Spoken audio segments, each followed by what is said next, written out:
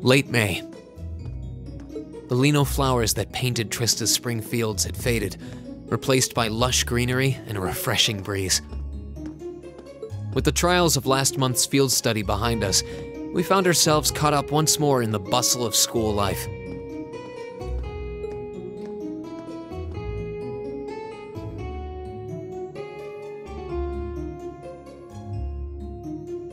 Both our combat training and academic studies continued to become more and more demanding.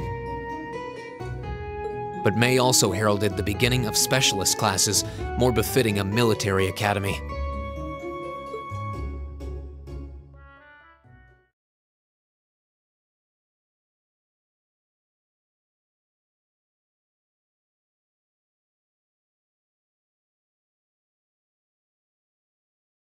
The Orbital Revolution 50 years ago changed the way wars were fought forever.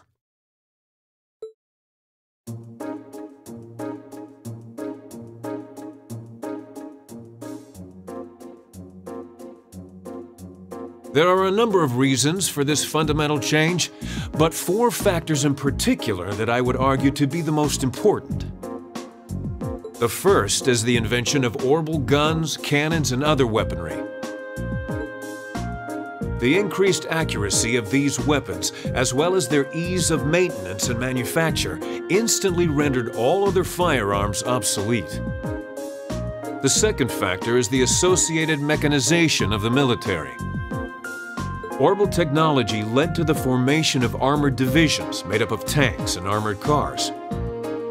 The impact this new kind of tactical unit had on the battlefield, with its enhanced offense, defense, and mobility, cannot be overstated. The third factor is the invention of airships.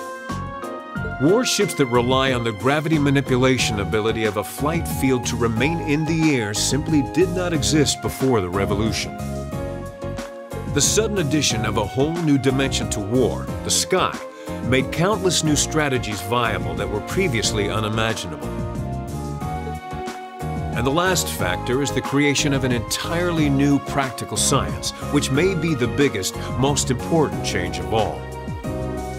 Without orbital technology, such a concept would scarcely even have been conceivable, but now we'd be virtually crippled without it.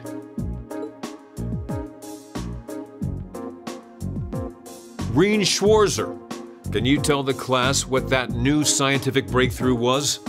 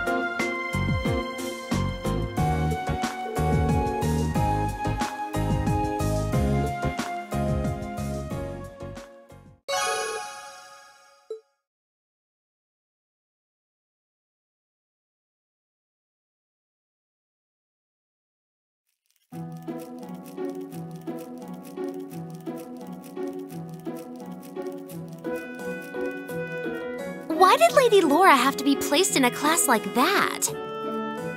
I was truly looking forward to studying alongside her. Is that girl next to her not the one who scored the highest on the entrance exam? I believe so, though I also hear she's a mere commoner. There's something about that silvered-haired girl that I find oddly soothing. I wonder if she'd let me stroke her hair if I were to ask nicely.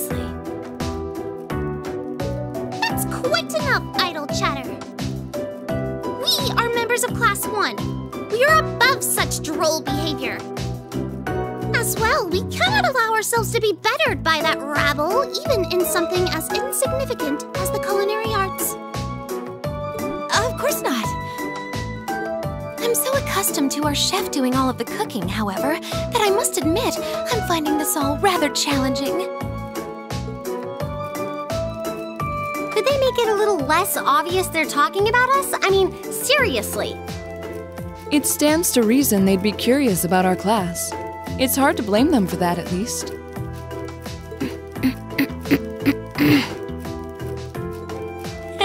I think you've wished that plenty already.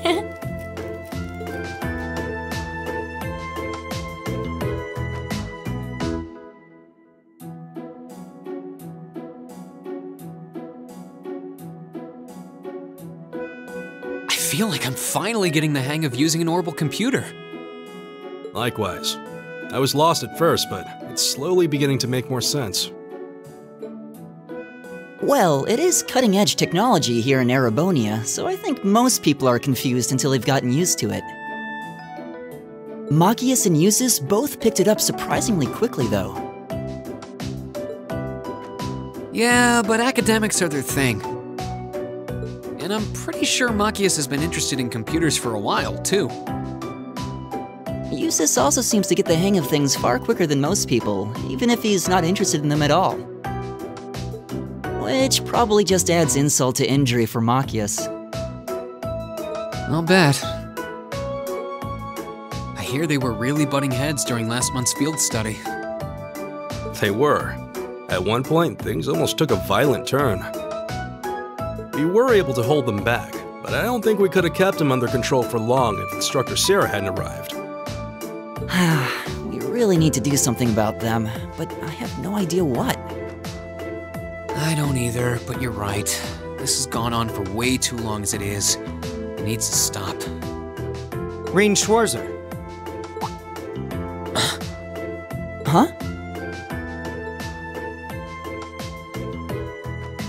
Isn't he from Class 1? Patrick, is it? That is correct.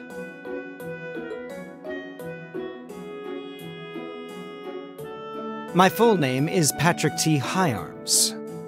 I don't believe I need to say anything more than that. What? So, you're from the Hyarams family. Are they prestigious? About as prestigious as they come.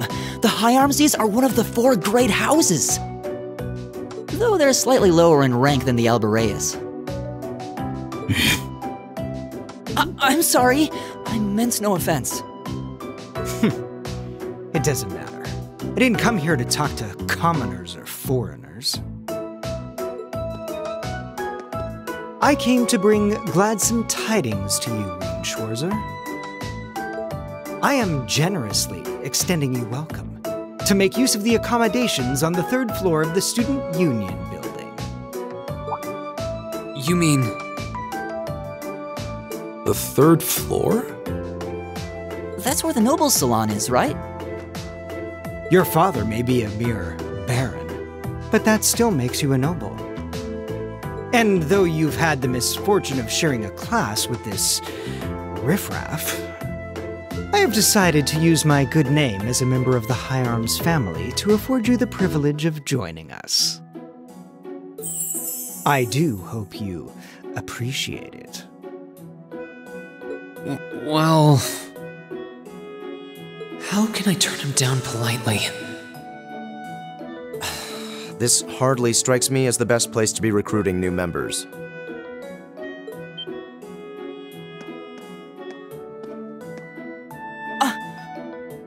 Jusis. Jusis Albarea? I wasn't aware the third son of the Hyarams family counted playing factions among his hobbies. If you wished for company in the salon, should you not have come to me first? You? Y- you've been invited countless times. You, you simply choose not to come. Despite there being no shortage of second years practically begging for your company. I have no interest. Hm. Suit yourself, then. But you, Schwarzer, make sure you think long and hard about this. If you care about your future, you need to start thinking about the connections you're making and the sides you're taking.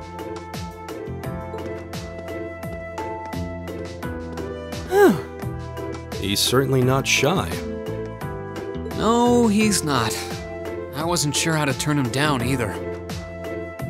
Thanks for stepping in, Jusis. I wasn't trying to help you. But I did cause you some trouble during last month's field study, so. No, that's all. Last month's field study? Is he. Yeah, I think he means the run in we had with the Provincial Army. Ah, so he feels partially responsible for his family's actions then. He must have been looking for a way to apologize to you. Huh, I guess he has a nice side after all.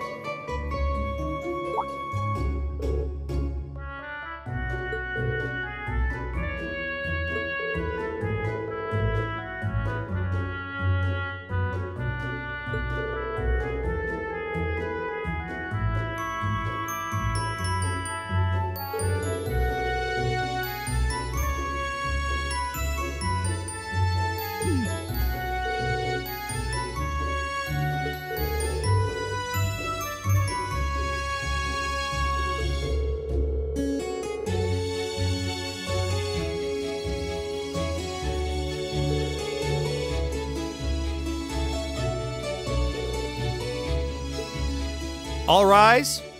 Bow. Well, I'll see you later, Rean. Later.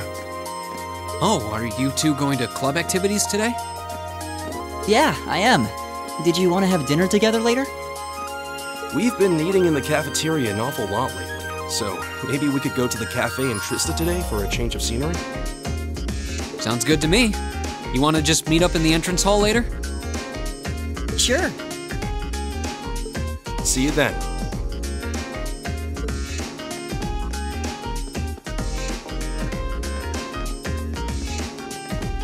Um. Oh, hi, Alisa. Are you off to club practice too? Oh, no, not today. What is it? Is there something you wanted to ask me? I. It's nothing. I'll see you later. There is one question I'd like to ask, though. Did you do something else to upset her? Not that I'm aware of. Suppose it's possible I did something wrong without even realizing it. Knowing her. I was speaking in jest, I assure you. Are you planning on going into the old schoolhouse again tomorrow? Yeah. The principal did ask me to keep an eye on it, so I thought I'd make time for a quick look inside. All right. Please let me know when you're planning to begin the expedition, if you would. I have club activities tomorrow, but as far as I'm concerned, the old schoolhouse takes priority. Thanks. I'll let you know. Excellent. I'll see you tomorrow then.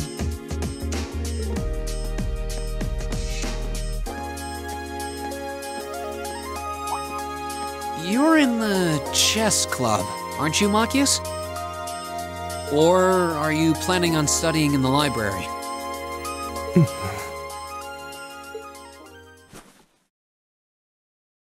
Since when was it any of your business what I choose to do after class?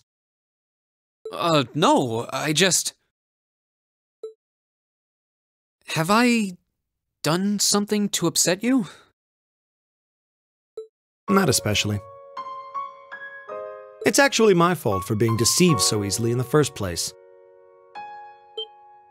Oh. Let's just say I haven't got a drop of noble blood in my veins. So I guess we're all in equal standing here.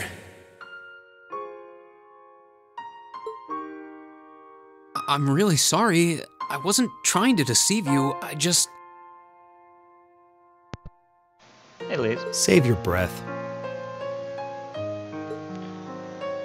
Thank you, will do. Whether you're a noble or not is beside the point. The bottom line is you lied to me, and I simply cannot trust those who lie. That's all there is to it. I.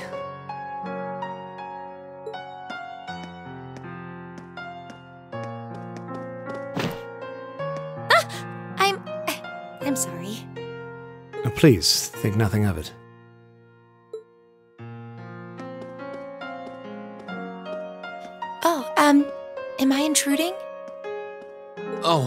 No, not at all. Did you need something? I accidentally left one of my textbooks in my desk, so I came back to fetch it.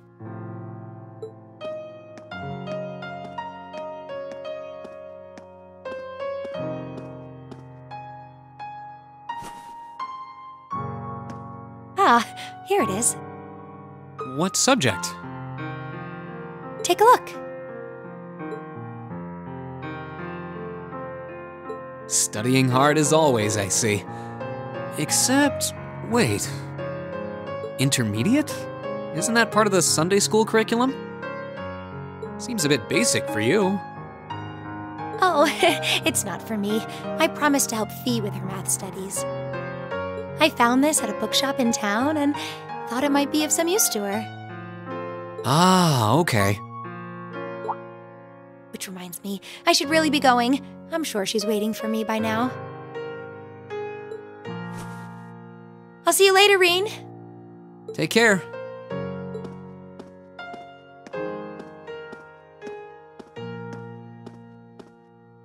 And don't worry. Huh? I'm sure Machias doesn't hate you or anything. If you can find some way of making him realize how you feel, I'm sure he'll understand. It's just getting through to him that might be tough. Yeah.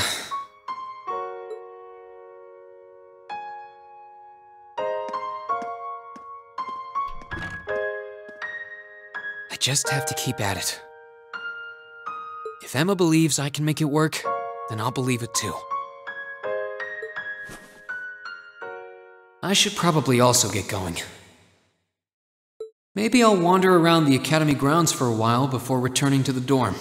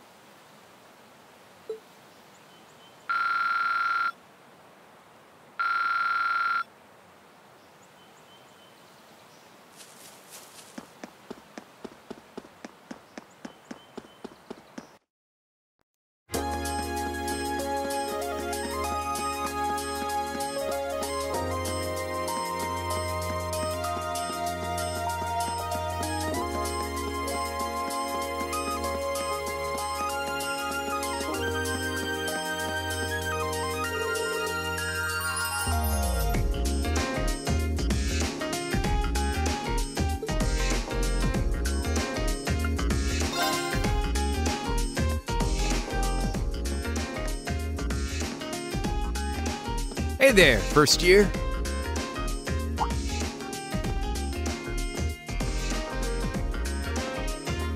Oh, it's you.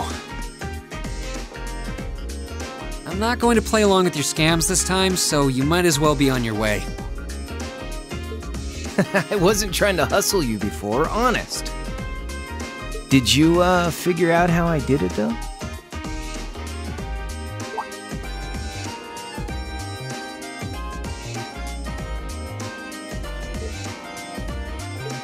If you really want your 50 Mira back, I'll be happy to hand it over. But wouldn't you rather feel like you earned it? Come on, what do you say? Hmm. There had to have been a trick to it. Some form of sleight of hand. Something that wasn't as it seemed.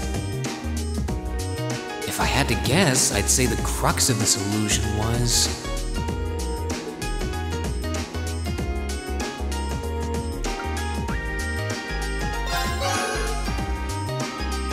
Course! I'm pretty sure he had a bag at his feet. Which means. You threw the coin in the air, but let it fall instead of trying to catch it. You let it fall right into the open bag lying in wait for it at your feet. Am I right? Yeah, not bad. I wasn't expecting you to figure it out so quickly. So I was right. Yep, spot on. And a promise is a promise, so here's your 50 Mira bag. Uh, sorry. I've only got 10 Mira on me. Ugh, it's fine. Just forget it. It's only 50 Mira. You can keep it. Oh, really? Well, that's mighty generous. Hey! Stop trying to leech money off innocent first years, you louse. Oh crap, it's the she devil. What?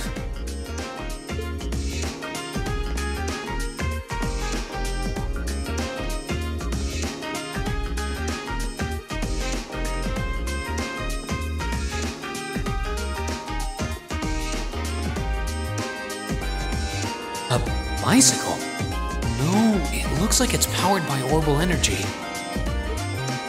Wait, I've seen this girl somewhere before. You're Rean, I take it. I've been hearing all about you from Towa and George.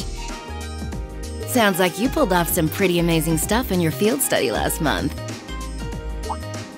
I'm surprised you know my name, actually.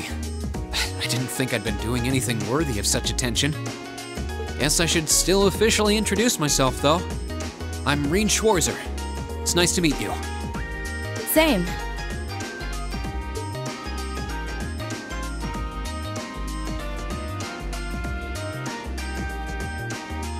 I'm Angelica, Angelica Rogner. Glad I could finally make your acquaintance. Rogner? As in Marquis Rogner?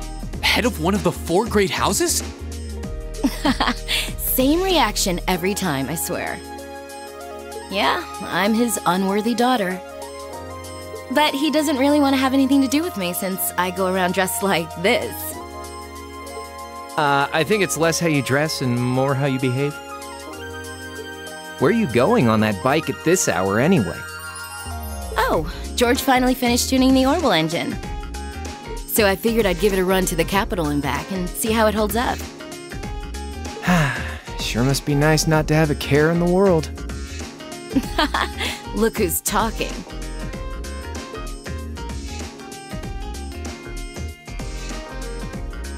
So you do ride it like a bike. Wow. well, catch you later. I'm thinking of putting in a request for you sometime. If I do, I'd sure appreciate a swift response.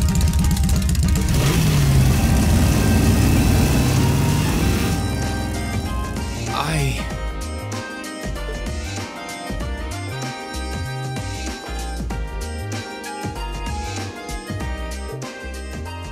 Huh. Lost for words?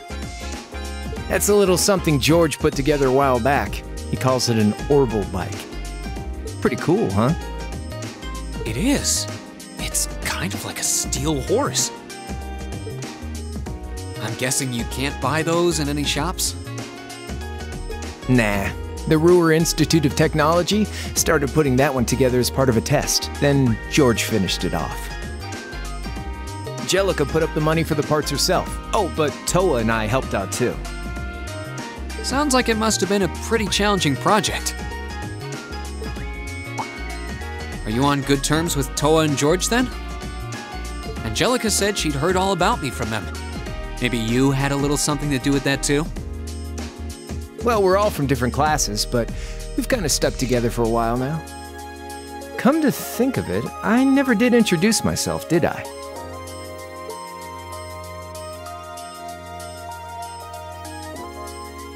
Name's Crow Armbrust, second year, class 5. I'm sure I'll catch you around again. Later.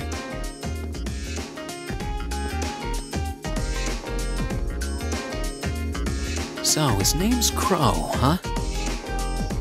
Angelica's the daughter of Marquis Rogner, Towa's the student council president, George is head of the engineering club. It seems like every second year I meet is somebody important.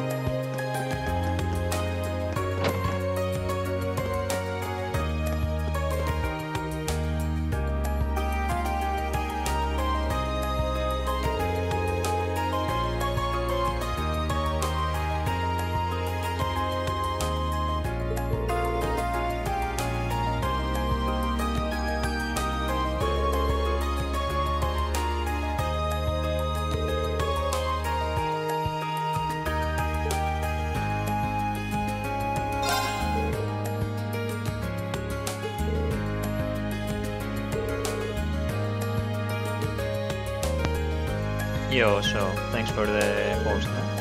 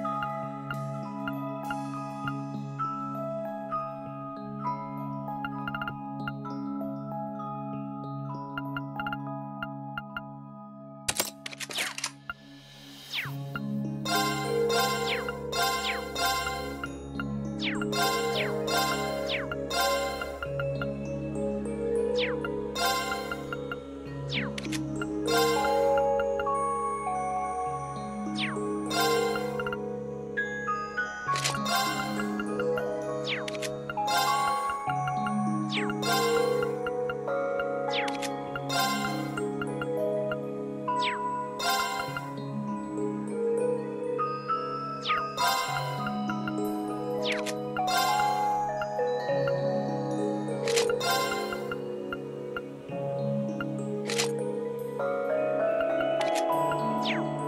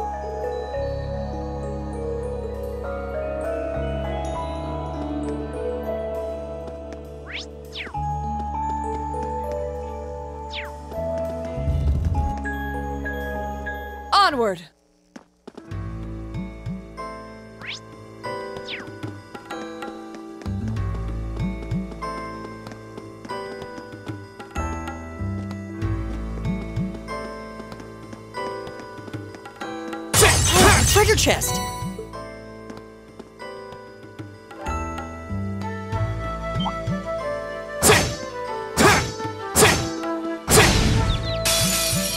Now's our chance. Let's get him. My turn.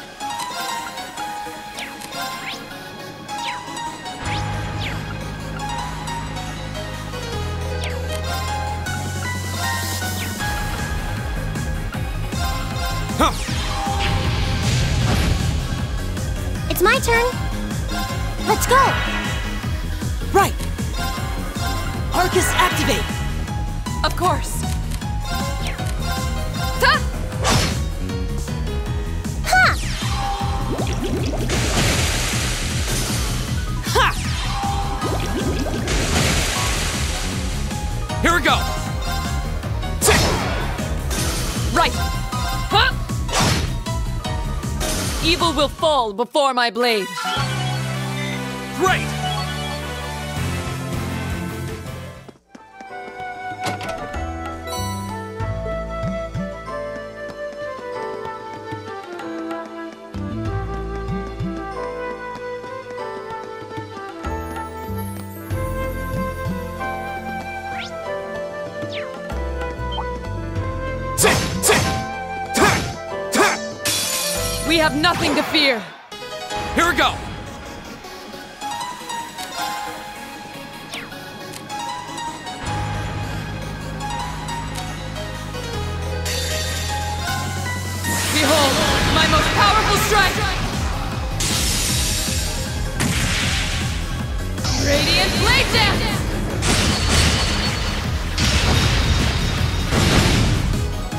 You still have a lot of training to do.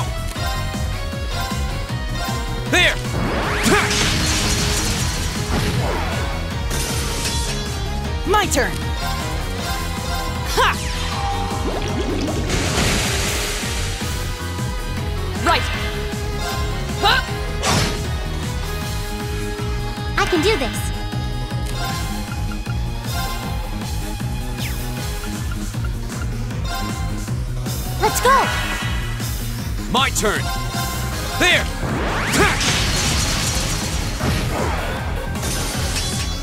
My turn! Arcus activate! Huh?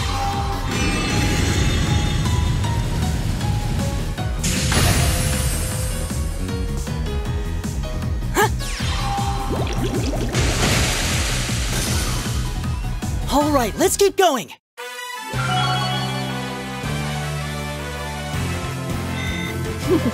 I've only just begun.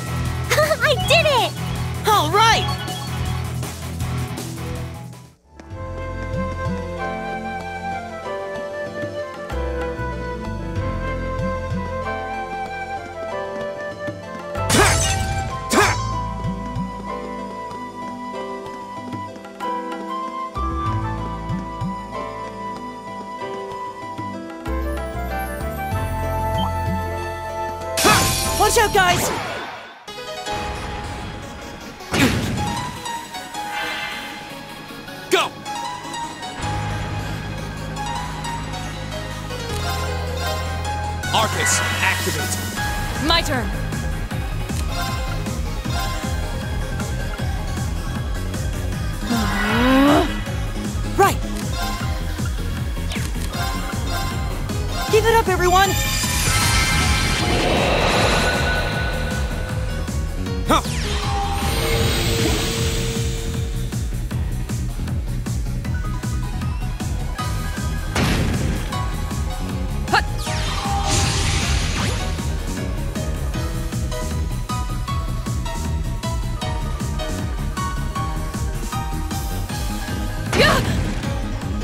Can do this.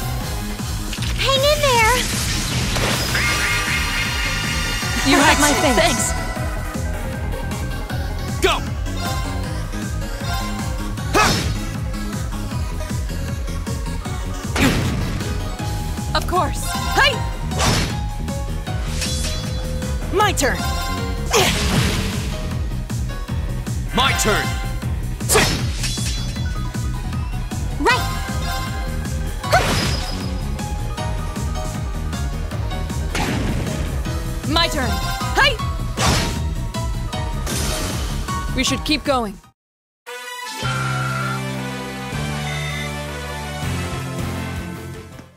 Huh. There seems to be a treasure chest here.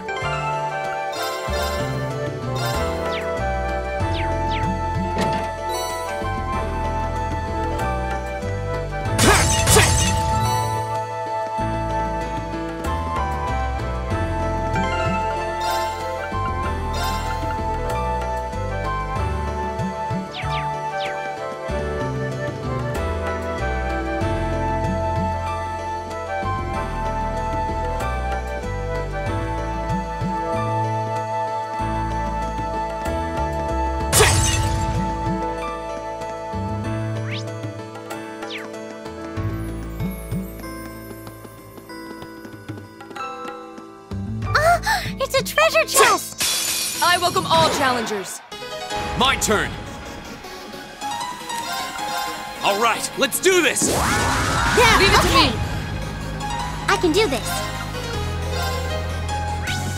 Let's go!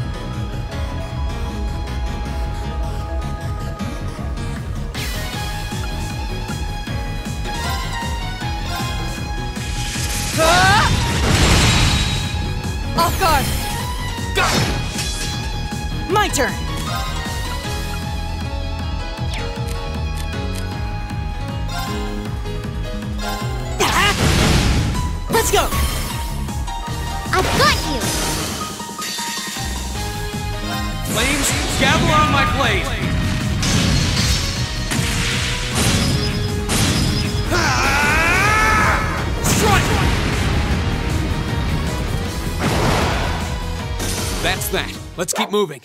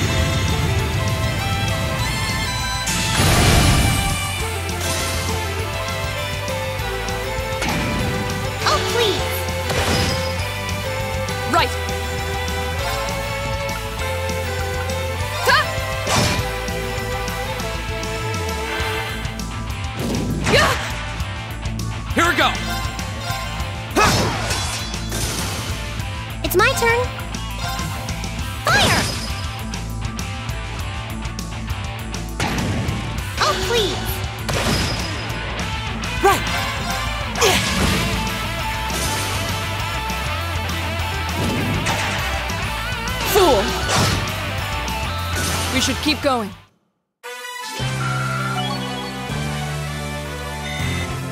Nice.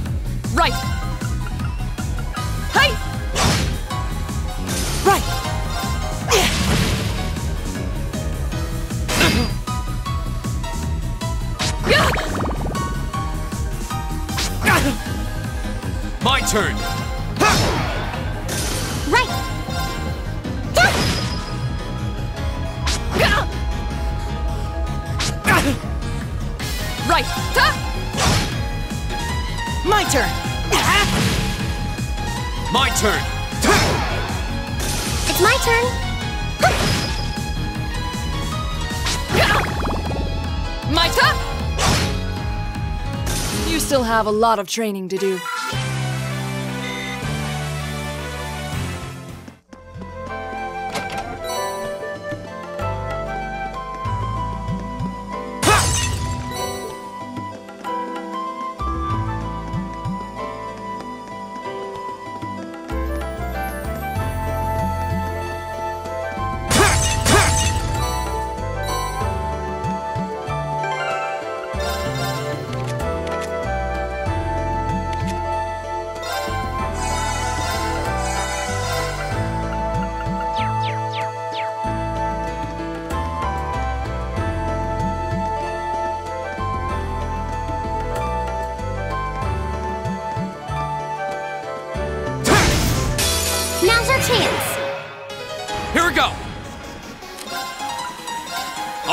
Let's do this! Got it, Understood. okay! I can do this.